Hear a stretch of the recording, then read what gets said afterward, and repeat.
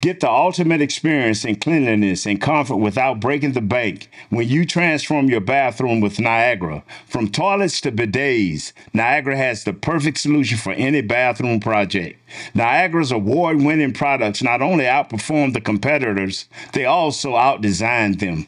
Thanks to innovations like stealth technology, Niagara's environmentally friendly products can use only half as much water as their competitors, conserving water and saving you money. And there's more great news for homeowners. You can now shop for Niagara products on Amazon or HomeDepot.com. Thank you, Niagara.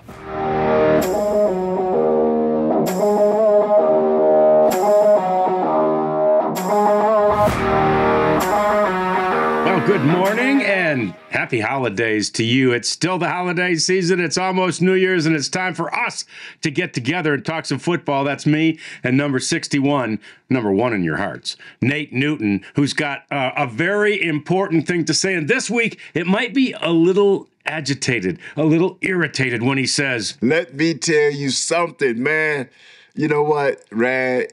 Can't nobody take away from the season, man. You know, uh, I know what Christmas mean. I know what the birth of Christ and all of that, and so eh, eh, that can be not taken away from Big Noon because I that that is who I am and that is the walk that I walk. So my Christmas was beautiful with my family, my kids, my my wife, and everything was perfect. And I hope everybody out there was perfect. And Rad, how was your holidays? Oh man, that's so uh, that's such a great way to start this, Nate, especially uh, following a Cowboys loss. And and despite sitting there on Christmas Eve watching the Cowboys lose with my son-in-law, who's one of the biggest Cowboy fans in the world, it was a fantastic Christmas. It was a fantastic one, and uh, it was awesome. And and it is uh, such an important day, you know, for those of us who are Christians. It is the day yes. Uh, where where it all began, and so um, yeah, we appreciate the reason for the season, no doubt about that that. Now, uh, was that the season in any sort of way on Christmas Eve when the Cowboys proved again they're beatable on the road? It, you know what? It's so many different ways. Uh, first of all, I want to thank Niagara, man. I mean, uh, oh yeah, yeah. Especially this morning, I had a great flush. Believe that. Believe that when I tell you that. I bet that's true. Oh man, uh, I bet that's yes. true.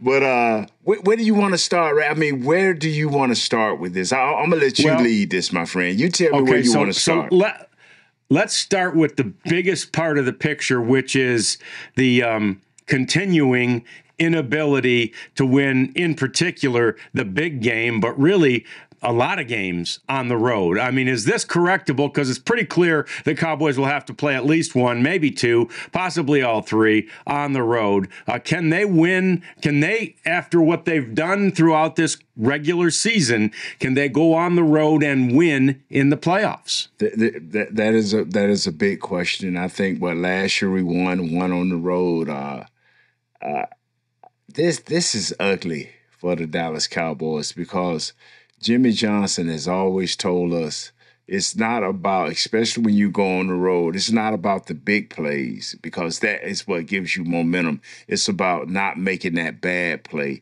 that takes away all your momentum, uh, hurts you with your confidence, and puts everybody in a bad situation.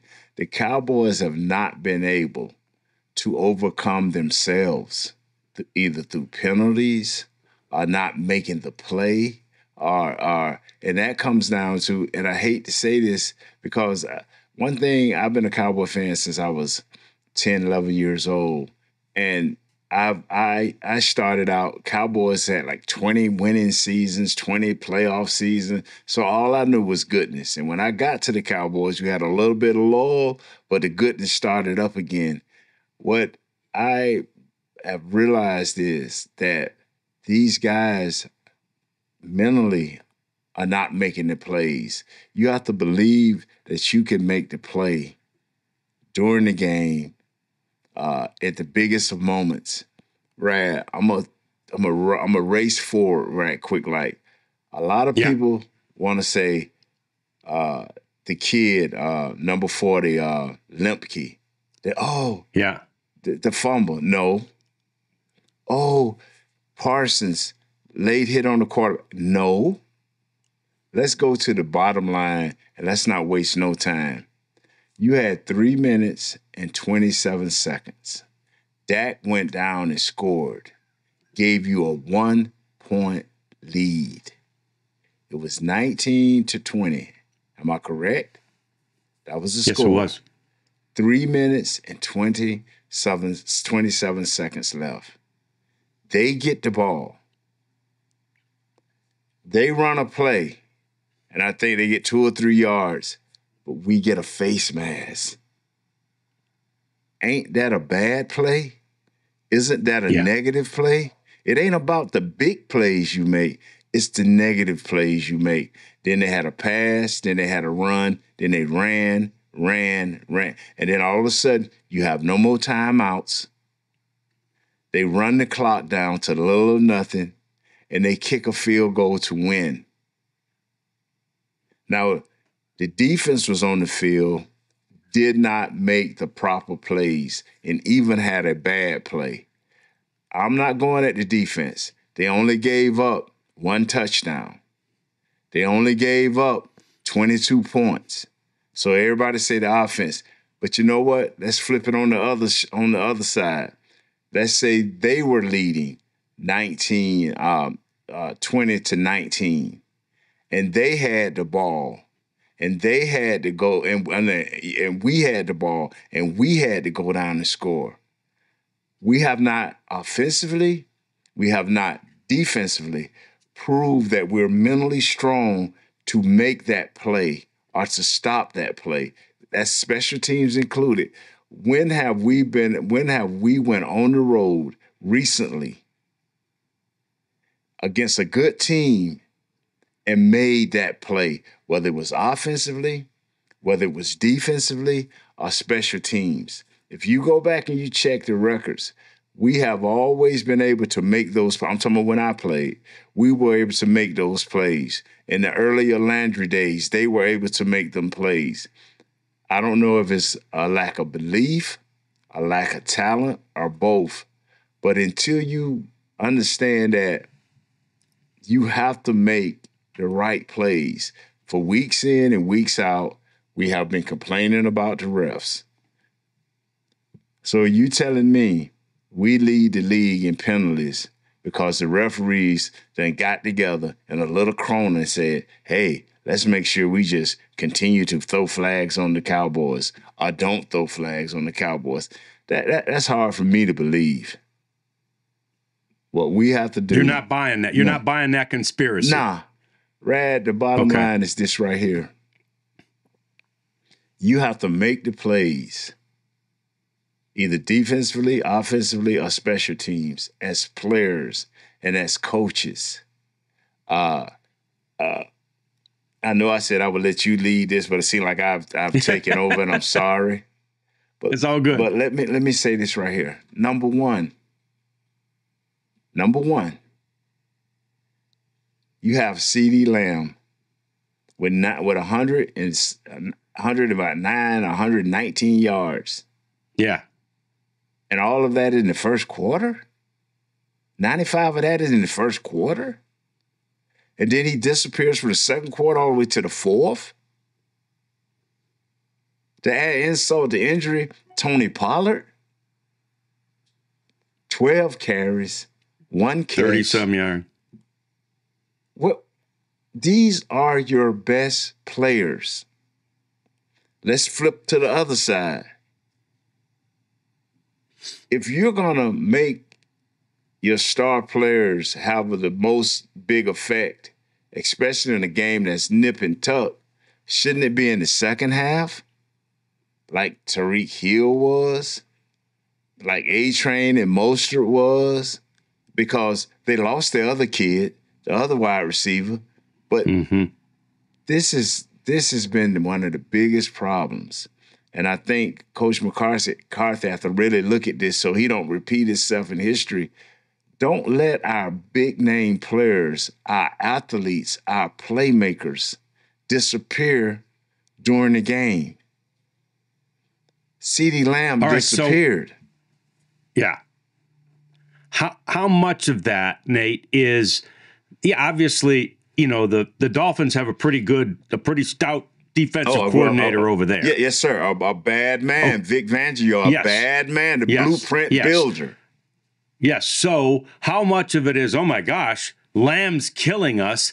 Let's do something to disguise coverage. Let's change our coverage on Lamb a little bit. And they took him out. And how much of it is just maybe play calling or maybe, you know, maybe some just flat out mistakes by either Dak or, or a decision maker in some way? I mean, how much goes to either side of that? I would like to say that Coach Fangio is one of the top defensive coordinators in the league. But it's sad to say offense always trump defense. You should never ever be able to take away totally a guy's. And what I mean by that is you may have held him down to maybe one or two catches or three catches a quarter, but to disappear for whole quarters at a time, no, sir, Rad. Okay. Coach Fangio, okay. I love you. Blueprint builder, you the man. I'm not going to take anything. But CeeDee Lamb is too cold blooded to be held out. That falls solely on Dak and Coach McCarthy. If you have to throw okay. him a smoke screen, a quick screen, if you know you line him up in the backfield, I don't care how you get him the ball. And I'll give you an example. The average offensive player, wide receiver, you can throw him a five yard hitch, and it may just be a five yard hitch. But CeeDee Lamb has shown you at Oklahoma all the way into the NFL that if you throw him a hitch or if you throw him a quick slant, big things can happen the majority of the time. You do not, as a coach or as a quarterback, stifle your your your great your best players. CeeDee is is borderline greatness you know, we don't want to have to go like Amari Cooper, go all the way to Cleveland and find out how cold blooded Amari Cooper yeah. is. We knew yeah. he was that when he was here. Okay, Amari's yeah. gone. You did that so CeeDee can open it, so you can open the doors for CeeDee. Don't we? You as an organization stifle him. We stifled CeeDee Got last it. week. We stifled Tony Par Tony uh, uh, Pollard last Pollard. week. Yeah, I mean, you gave this guy ten million dollars now, at the beginning of the year, I was all for it 10, 15, 20 touches, ramping him up, getting ready for the playoffs. But now you're in a, a playoff run right now. That thing started a, two weeks ago with Philadelphia. You know, you're in a playoff run, and this cat averaging 12 touches a, a, a game. You, you, what, what are you waiting on? Time is running out. Yeah. Yeah. This guy got to yeah. see 25 touches. You know, uh, I, I, I, had no problem with Lemke uh, getting that ball. Um, you know, yeah. but you got to be aware that you're working with a new guy as a quarterback, and you got to be, hey man, let's make sure we we get this handoff correct. You know, uh, I, am down yeah, with Lemke. I, I was I was thinking about you and our discussion last week on the show. They're down there, they're handing it to a big guy because, yeah. you know, we talked about how, you know, either Pollard or, or either uh, uh, Dowdle, yeah. they're not great in that bang through situation. I thought, here they go. They're going to give it to a big old fullback. And then he dropped it. Yeah, it, but okay, it happened. But with three minutes and 27 seconds, who had the lead? Did the Cowboys yeah, not have Cowboys defense through all of that? Through the late hits, through the penalties, through the fumble, you had the lead with three twenty. With three, if I'd have told you after the first game, the New York Giants, or the first game of the year, I'd be like, "Hey man, but you get the Cowboys." defense the uh, the ball on the on the opponent's 20 with 322 yeah. left. Don't the, the, the, the thing that this is coming down to, and I'm going to continue to repeat it, is can the players, the big time players, can they make the plays to win you the games on the road? I don't care the majority of the time on the road in playoff situations and playoff atmospheres. I don't care what no one says. If you're looking for Lemke to win you the game, something wrong with your team. I'm looking for yeah. Tony Pollard. I'm looking for Dak. I'm looking for CeeDee Lamb. I'm looking for Cook. And I'm looking for my head coach, my offensive coordinator to get these guys the ball. I don't care how it goes. I don't care how it goes. You tell me one team that don't take advantage of their top players, I have where they can get them the ball, and and the only way they don't get these guys the ball is they triple and triple and, and uh, quadruple coverage on these guys. That's the only way you don't get them the ball. Yeah, yeah. So Let's talk about another theme from this that's been a recurring theme uh, with on the defensive side of the ball. Because once you started naming those guys who got to make the plays, right. I'm also thinking, you know, Demarcus. I'm thinking Micah. I'm thinking right. these guys on the other side of the ball, right? But the one thing that's happening here, Nate, and and again, a member of the media for 40 years, man. Right. I love it when guys speak out in the locker room and right. say something. And Micah has been, all right? He's been saying, I get held on every play, a lot of times, multiple times on every play. And the media's taking it and run with it. And they're finding pictures where, you know, one picture, he's got like a face mask, he's got an arm around him, he's got a guy chop blocking him. And, you know, they're like, look at there, see, he's right, he's right. And it's it's fun. It's great. It's great for the media. I got to believe Charles Haley got held on a lot of plays he never said that to us. I got to believe you held, you know, the Reggie Whites of the world you and all I these didn't? guys every chance you got. You think right? I didn't? uh, yeah, yeah. So, I mean, sometimes I don't know. Is that where do you stand on on Micah saying, you know, I get held on every play? I'm I'm I'm gonna say this. He probably does,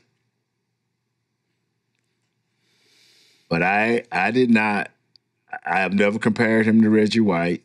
I've never compared him to Lawrence Taylor.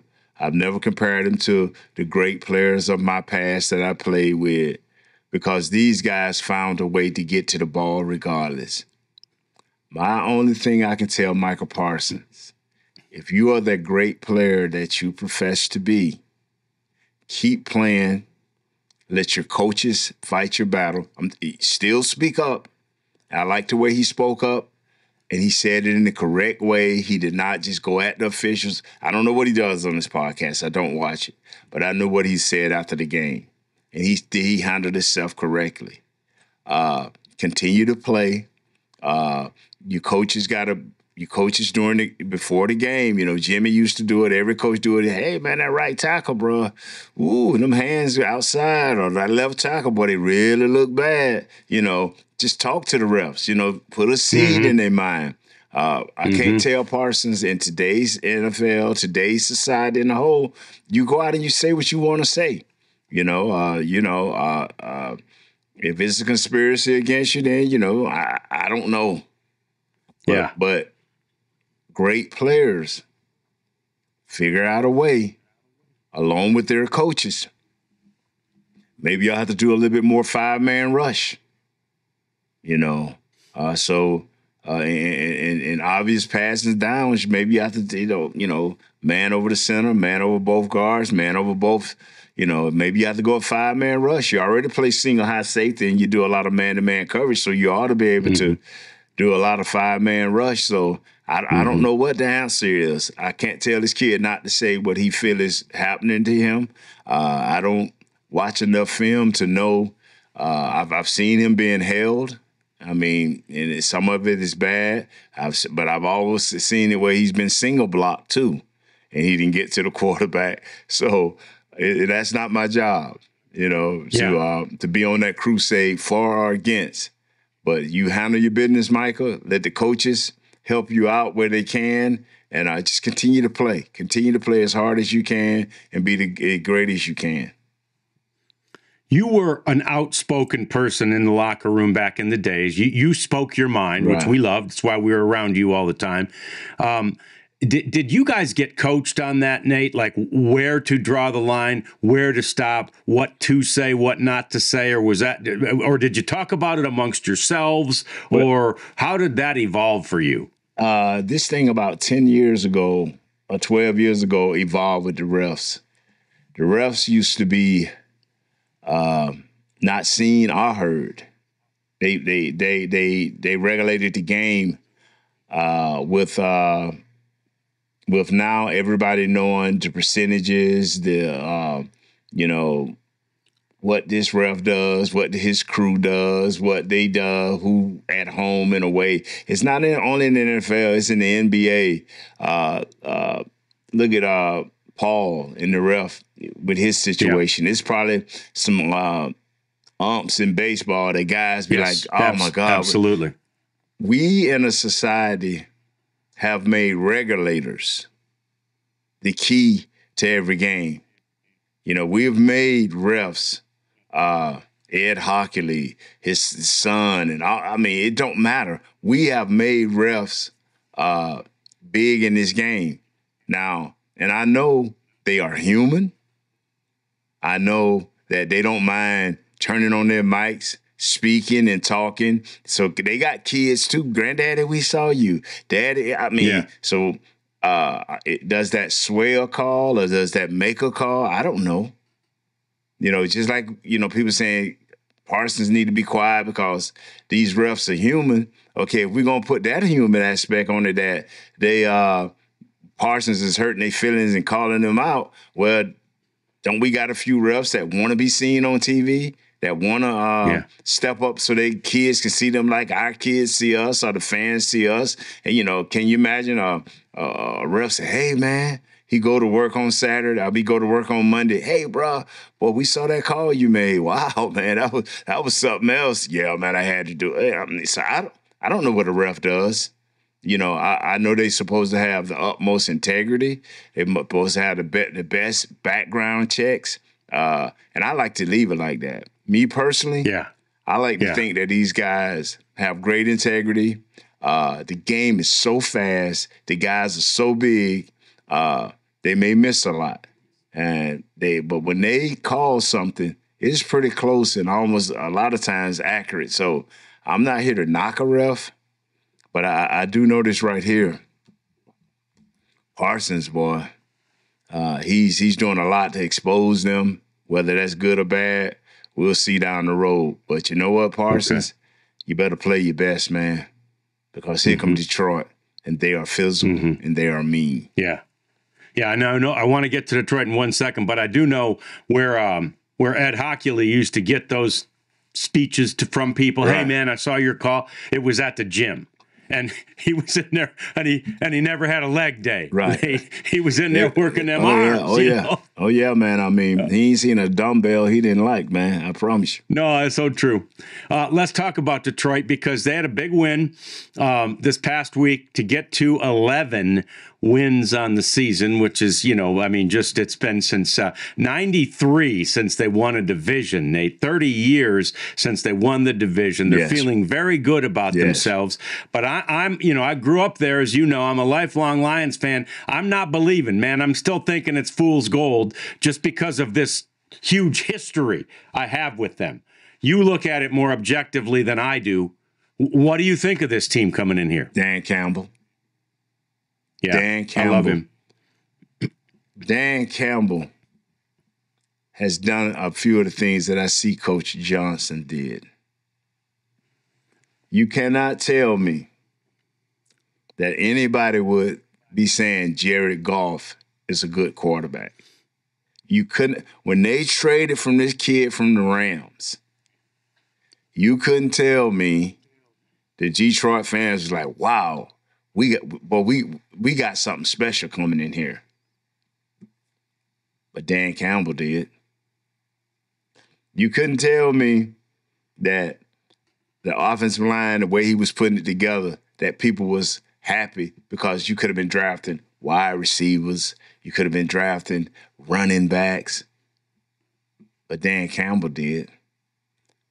You couldn't tell me the way that defense was two years ago, you know, running around, looking rampant, looking raggedy, not knowing where to go. You couldn't tell me the fans didn't believe in that they believed in that defense, but Dan Campbell did. I'm telling you, I've heard some of the stories behind closed doors, how he never has a bad day, how he's always positive, how he's always uh, got time for his players or ownership to tell him in the direction he wants to go for this team. Uh, his unwavering uh, intensity. You know, players can tell when you're fake. Ain't nothing Yeah. fake about Dan Campbell. Mm-mm. Uh, this team is who he is a physical, hardworking uh, team. you look at their stats defensively, they have no uh, overall uh, like last week we played what's uh, Miami. They had 48 sacks. They had four guys, three guys with uh, eight and with eight with seven sacks or more. They had four guys with five sacks or more. I mean, they they had uh, 14 um, interceptions uh, 15, uh, 13 fumbles. They, this team was just Miami was it. You know. Yeah. You know. But Dan Campbell, the thing that you can say about their defense, they give up 90 yards rushing a game, 3.7. They they they hard nosed, they physical. Guys be where they're supposed to be. And for the majority of the time, they getting guys off the field. What I mean by that, they getting offenses off the field. It's third and whatever, they getting you off the field. It ain't so much the turnovers. Uh, it ain't so much the the fumbles because I think they only got six or seven fumble recoveries. Is that they right now he's still building his team and he just getting you off the field. Remind me a lot of Jimmy. That's how we started out. You know, just get off the field, third and third and whatever, get off the field. First and second downs was our biggest downs until you start getting those playmakers, those guys that can actually intercept a lot of balls, or mm-hmm. uh, you mm-hmm. you learn the offense, the defense so well, so now you know where you can take your chances. This team is sturdy. This team is hard. Uh, you don't have to believe in them. You don't have to believe in them. Uh, they had some some funny losses like the, to the Bears 30, 28, yeah. 13, yeah. you know, in, in week 14. Uh, but they have lost to good teams. Seattle yeah. in week two, 37, 31 overtime. Uh, Baltimore, they got thrashed by Baltimore, but so did San Francisco. You know, yeah. Uh, they lost to Green Bay their nemesis, you know, in week 12, 22, 29. You have weird losses sometimes, Rad, but this is a physical team.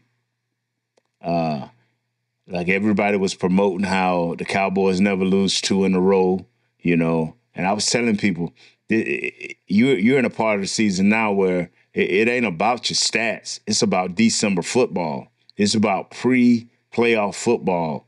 It's about what do you do in December? Because you have went through the ups and downs.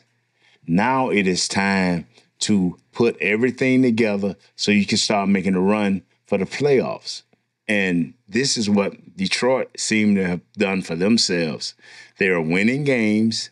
Some of them are not pretty, but they're winning games. They're 11 and 4.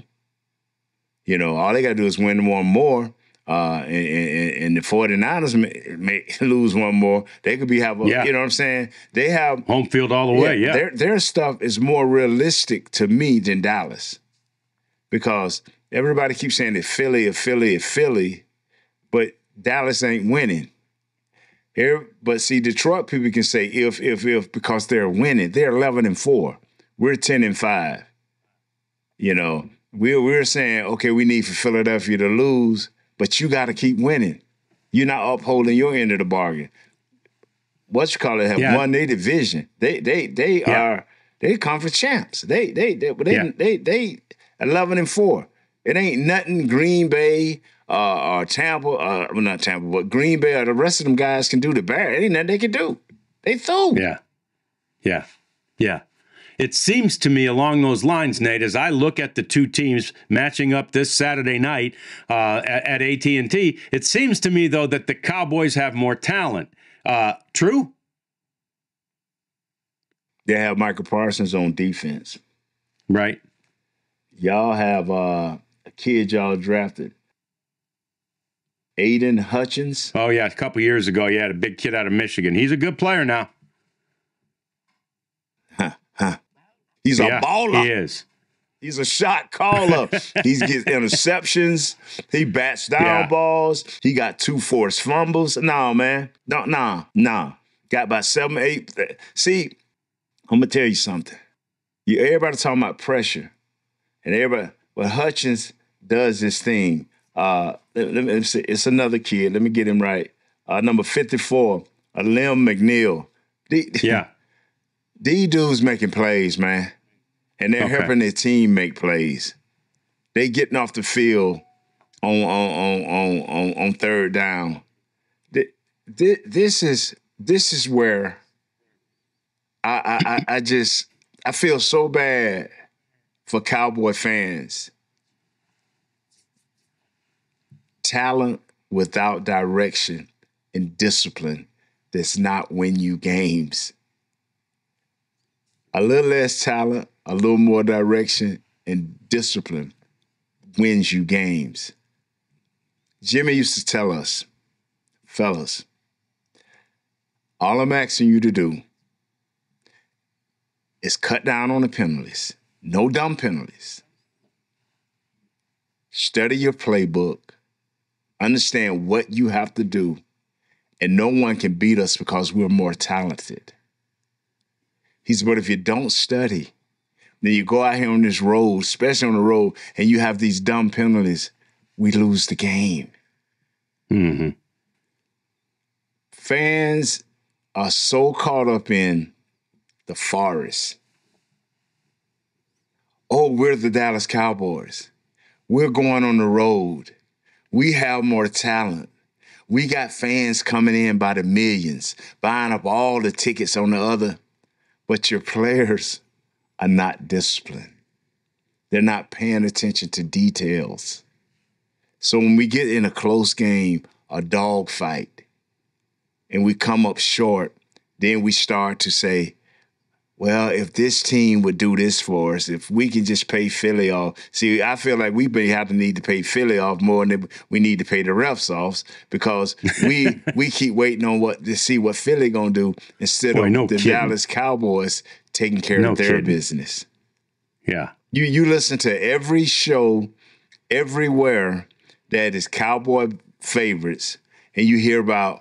I, I'll be like, is Philly on our payroll? What what do we do? Yeah. Because all I hear about is if Philly do this and Philly do that. Well, won't Dallas just win their games?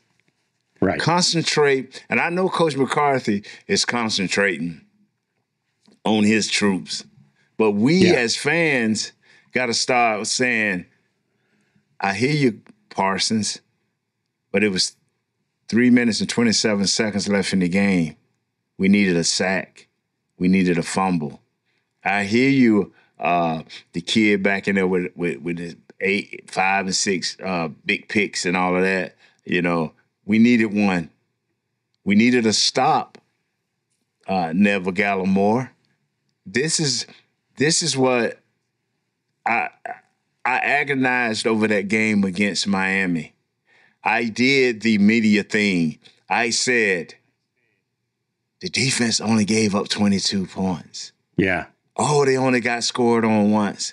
I said to myself, man, Dak was under duress all day. He made play after play. He came down the stretch, took off all the way except three minutes and 27 seconds.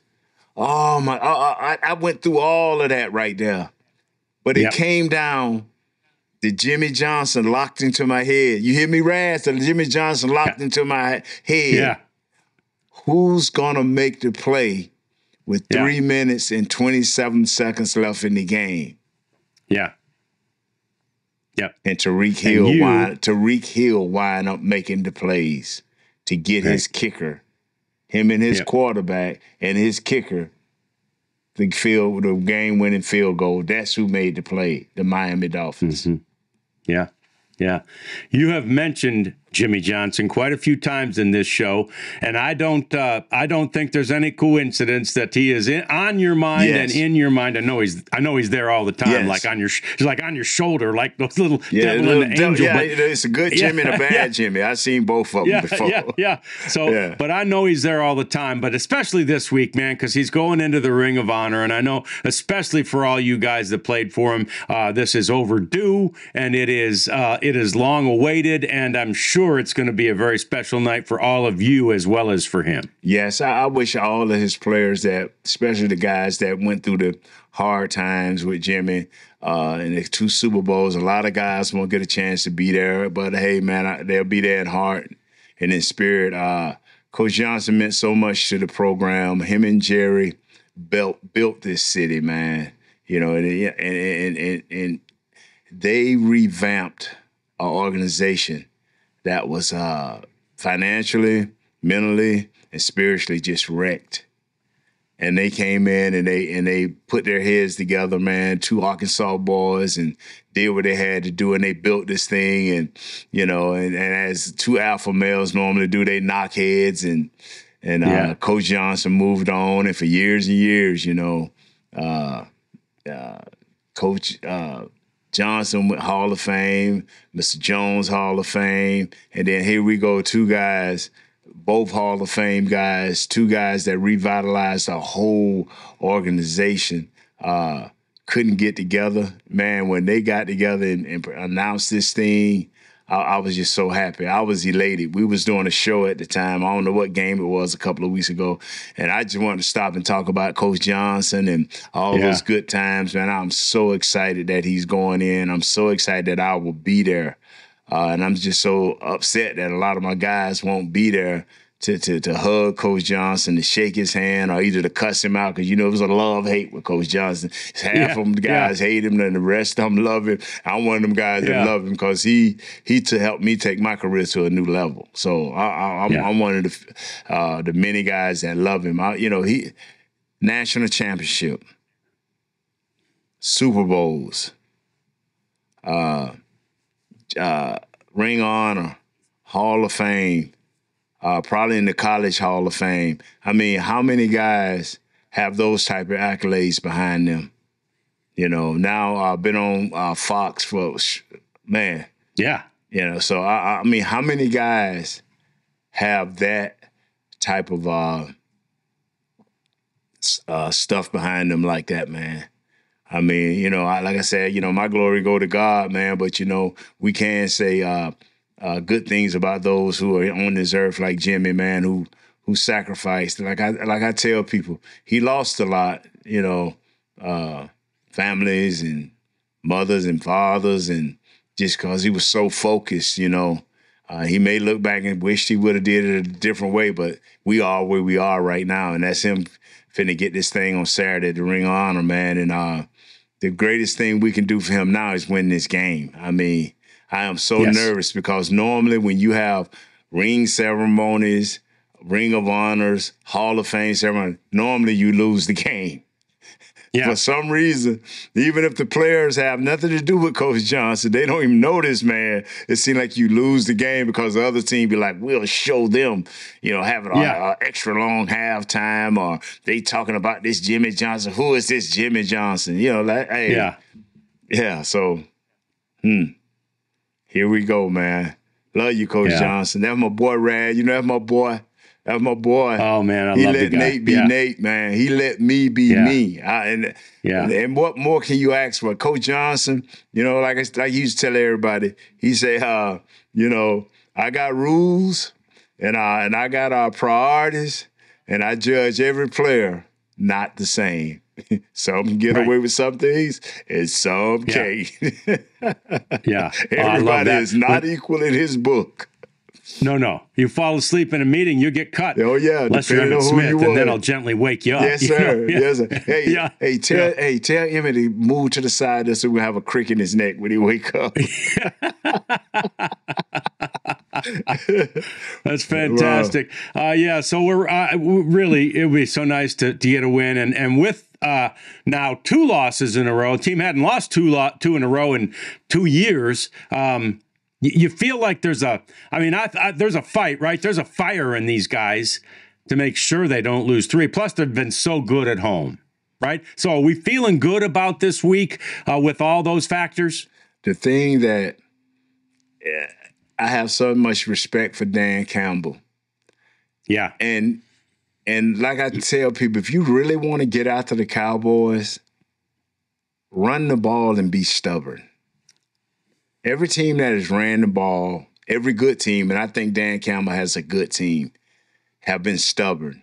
They try to play us close.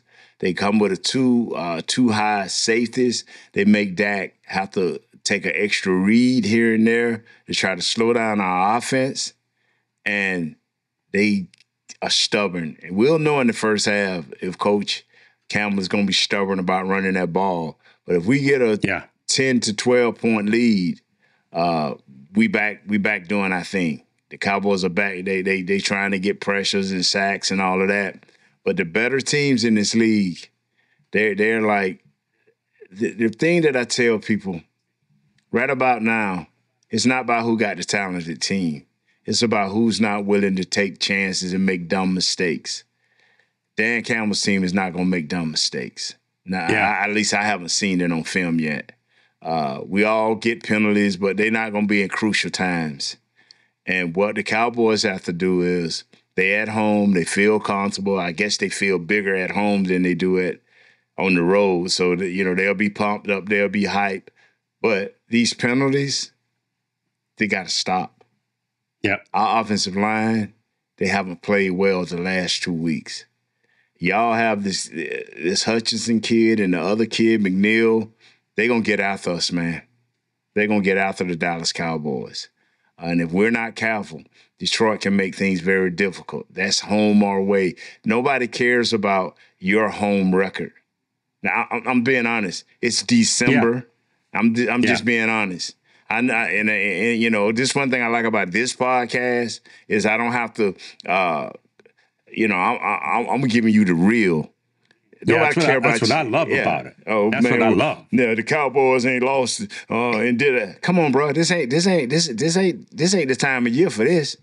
You, you know, two days ago, three days ago, when it was Christmas, yeah, that was the season. Yeah, you be jolly, be happy. Them dudes don't care nothing about Miami. Didn't care nothing about the, uh, the Cowboys. Don't lose two in a row. They was trying to win because they trying to catch Kansas City. Yeah. They got goals too.